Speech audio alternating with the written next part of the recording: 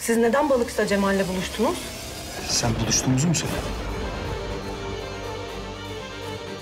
Artık Cemal yakandan düşüyor. Söylememezsin kadını. Ne sen ne ben. Bu aşkı söküp atamıyoruz.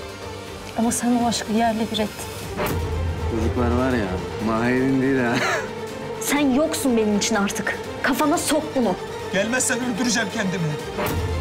Ben her şeyi arkamda bırakıp gidiyorum.